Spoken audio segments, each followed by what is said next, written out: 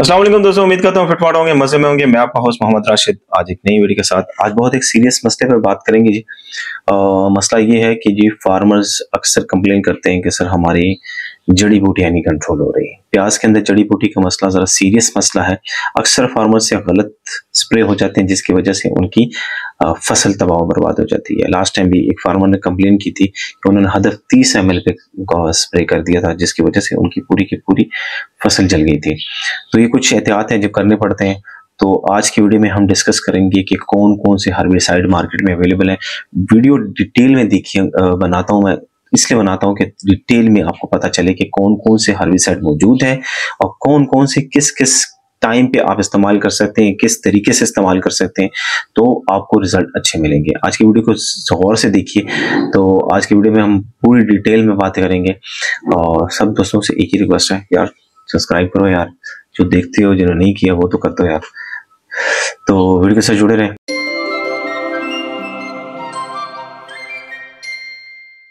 प्याज के अंदर जड़ी बूटी का मसला एक शदीद किस्म का इशू है और अक्सर फार्मर्स इसमें कुछ ना कुछ गड़बड़ कर देते हैं, जिसकी वजह से उनको नुकसान उठाने पड़ते हैं। तो आज हम शुरू से स्टार्ट करेंगे कि अगर जड़ी बूटी नहीं उगी तो हम क्या करेंगे और अगर हम उस उग जाती है तो फिर उसके बाद कौन से हर्बिसाइड इस्तेमाल कर सकते हैं। तो शुरू में अगर आपको अपने खेत के बारे में पता है कि आपके खेत में किस किस्म के मसले आते हैं और कौन कौन सी जड़ी बूटी आपके खेत में है तो फिर आप उसको बहुत अच्छे से मैनेज कर सकते हैं। अगर आपको नहीं पता तो भी आप उस, आज की वीडियो से इंशाल्लाह अपने खेत में जड़ी बूटी को इंशाल्लाह सही तरीके से मैनेज कर पाएँगे। अगर आपके खेत में जड़ी बूटी अभी नहीं निकली और आपने पनीरी मुंतकिली कर दी है, मुंतकिल कर दी है तो आप क्या चीज़ स्प्रे करें? वतर कंडीशन में आप स्टाम्प का इस्तेमाल करें, पेंडीमेथिलीन का इस्तेमाल करें पीला जहर जिसे कहा जाता है वो इस्तेमाल करें, उससे आपके खेत के अंदर जितनी भी किस्म की जड़ी बूटी होगी, वो निकलने से पहले ही कंट्रोल हो जाएगी। खुदा न खास्ता अब नहीं निकली, तब उसके बाद हम बात करेंगे कि हम उसमें क्या कर सकते हैं। नहीं निकली तो आप पेंडीमेथिलीन का इस्तेमाल करें। अगर आपके खेत में बहुत शदीद मसला आता है तो आप दूसरा जो जहर है, वो ऑक्सीफ्लोराफिन है। ऑक्सीफ्लोराफिन जो आपको हदफ में मिल जाएगा। हदफ थोड़ी सी स्ट्रेस देती है। इस, क्योंकि उसके अंदर कंसनट्रेशन इसकी ज़्यादा स्ट्रॉन्ग रखी है। तो वो चौड़े पत्ते में बहुत अच्छा काम करती है। अगर आपके खेत में चौड़े पत्ते का बहुत शदीद मसला है तो हदफ को किसी हद तक इस्तेमाल आप कर सकते हैं। लेकिन सीसी कम रखें। पाँच या आठ सीसी के दरमियान में आप ट्रांसप्लांटेशन के बाद रखें। और अगर आप नर्सरी के अंदर इस्तेमाल कर रहे हैं तो फिर आप दो सीसी से ऊपर बिल्कुल मत कीजिएगा और दो स्प्रे मत कीजिएगा। एक दफ़ा ही स्प्रे करें, दूसरी दफ़ा उस लाइन पे गलती से भी मत आइएगा। तो चले आपको जलने के या आपकी प्यास खराब होने के मसले नहीं आएँगे।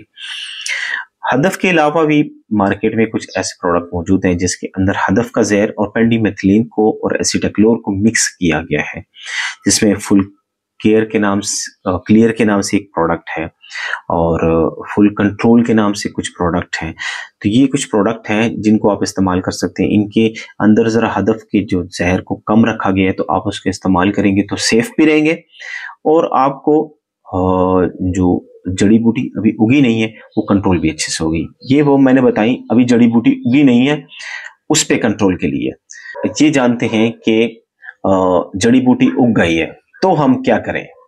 और जड़ी बूटी उगने के बाद हमें ये पता चल गया कि ये कौन सी ये वाली जड़ी बूटी है तो उस पर कंट्रोल करते हैं। घास नवाज़ जितनी भी जड़ी बूटी आपको मसला आता है उसमें तो आप उसमें एक्सन कंपनी का एक प्रोडक्ट है आ, स्मैशर के नाम से। स्मैशर को आप इस्तेमाल कर सकते हैं।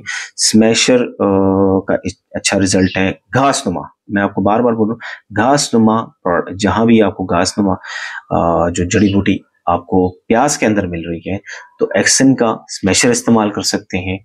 कैंजो प्रोडक्ट का जो कैंजो कंपनी है, उनका एक प्रोडक्ट है परसेप्ट के नाम से।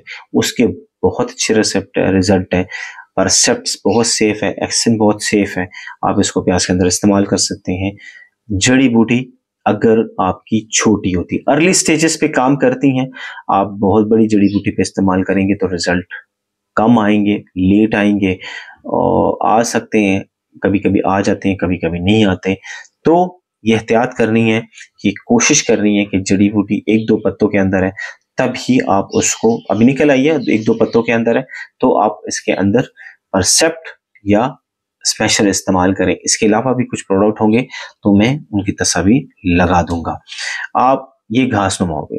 अब आपको चौड़े पत्ते का मसला आ रहा है तो आप क्या करेंगे? चौड़े पत्ते में ब्रोमाक्सिलिक प्रोडक्ट है, जो M C plus M C P A के साथ आता है। ये चावलों में जो राइस के जो क्रॉप है, उसके अंदर इस्तेमाल होती है। चावल की फ़सल है, उसके अंदर इस्तेमाल होती है। मुंजी में इस्तेमाल होता है ये प्रोडक्ट अगर ये प्रोडक्ट आपको मिल जाता है, ये चौड़े पत्ते पे बहुत अच्छा काम करता है, ठीक है? और आप इसको बहुत सेफ़ है ये प्याज के अंदर। आप इसको इस्तेमाल कर सकते हैं। आप इसका इस्तेमाल करेंगे तो आपको इनशाला जो है ना, चौड़े पत्ते का जो मसला है, वो कंट्रोल हो जाएगा।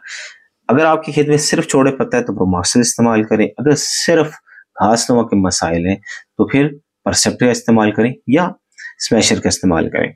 अब अगर आपको ये दोनों मसाइल आ रहे हैं घासनुमा भी, भी है और वो भी है तो आप दोनों की कम्बिनेशन भी कर सकते हैं। अगर आपको एक और प्रोडक्ट है परसूट के नाम से। परसूट आपको बी एस एफ़ का एक प्रोडक्ट है जर्मनी कंपनी है बी एस एफ़ उसका प्रोडक्ट है। अगर ये मिल जाता है आपको तो ये दोनों के ऊपर बहुत अच्छा कंट्रोल करता है। और ये आप प्याज के ऊपर बहुत सेफ़ भी है, लेकिन वही बात है अर्ली स्टेजेस पे करेंगे, तभी कंट्रोल करेगा। अगर लेट स्टेजेस पे करेंगे तो फिर आपके कंट्रोल इतना अच्छा रिज़ल्ट नहीं देंगे। अब एक और बड़ा मसला आता है, जिसे हम कहते हैं डीला प्याज में डीला कभी कभी बहुत ज़्यादा कुछ एरियाज़ में इसके रिपोर्ट आती है कि ये डीला बहुत ज़्यादा है हमारे खेत में, किस तरह कंट्रोल करें। बायर कंपनी के पास एक बहुत अच्छा प्रोडक्ट है सनस्टार गोल्ड के नाम से। अगर आपको ये मिल जाता है तो डीले पर इसके बहुत अच्छे रिज़ल्ट हैं, लेकिन वही बात है अर्ली स्टेज पे आपने करना है। अगर आप इसको अर्ली स्टेज पे इसका इस्तेमाल करेंगे तो ये इसके बहुत अच्छे रिज़ल्ट हैं और बहुत शानदार रिज़ल्ट हैं। कोशिश करनी है कि इसका भी इस्तेमाल ऐसे ही करना है कि एक ही तरफ़ से जाना है, दूसरी तरफ़ दोबारा उसी लाइन पे दोबारा स्प्रे ना करें तो अच्छे रिज़ल्ट मिलेंगे। और पानी का ज़्यादा इस्तेमाल करें हमेशा हर साइड के अंदर, तब भी आपको अच्छे रिज़ल्ट मिलेंगे। सन ये जो सन स्टार है, ये ब्रॉड लीफ सॉरी ये ग्रासी और सेजेस दोनों में बहुत अच्छा काम करता है तो आपको इसके बहुत अच्छे रिज़ल्ट मिलेंगे। ये कुछ प्रोडक्ट थे समराइज कर देता हूँ दोबारा। अगर आपको आपके खेत में जड़ी बूटी नहीं निकली, ठीक है? आपने पानी लगाने, लगाए, पानी लगाने के बाद स्टाम्प एंडीमेथिलीन का इस्तेमाल करें तो आपके मैक्सिमम नंबर ऑफ़ जड़ी बूटी कंट्रोल हो जाएगी। जड़ी बूटी में दूसरा जहर आप इस्तेमाल कर सकते हैं प्री इमरजेंस अभी जड़ी बूटी नहीं है, उसमें आप हदफ का इस्तेमाल कम से कम करें फुल कंट्रोल और फुल क्लियर क्लियर के नाम से भी प्रोडक्ट हैं, उनका इस्तेमाल कर सकते हैं। अब जड़ी बूटी निकल आई है और आपको लग, पता चल गया है कि ये जड़ी बूटी है तो परसूट के नाम से इस्तेमाल करें। एक जहर है जो दोनों चीज़ों में कंट्रोल करता है ब्रॉडली और ग्रासी दोनों में कंट्रोल करता है। और अगर आपको डीले का मसला है तो सन स्टार के नाम से प्रोडक्ट है, उसका इस्तेमाल करें। और अगर आपको सिर्फ़ घास ग्रासेस का मसला है तो आप परसेप्ट और स्मेशर के नाम से प्रोडक्ट है, उसका इस्तेमाल करें। ये कुछ प्रोडक्ट थे और इनकी डिटेल थी। ये दूसरे प्रोडक्ट को नुकसान नहीं देते, लेकिन हदफ का जहर, जड़ी सारे जहर एक हद तक स्ट्रेस देते हैं प्याज को, लेकिन हदफ बहुत ज़्यादा स्ट्रेस देता है, इसलिए हदफ से दूर रहें। अगर आपको कुछ नहीं मिलता, फिर हदफ आपके लिए जा रहे हैं तो फिर आठ सीसी से ऊपर मत जाइएगा। गलती से भी, क्योंकि आपको फिर उसके ज़्यादा नुकसान उठाने पड़ेंगे। लेकिन बात वही है प्री इमरजेंसी में हदफ काम करता है पोस्ट इमरजेंसी में उसके रिज़ल्ट कम है, इसलिए ना इस्तेमाल करें।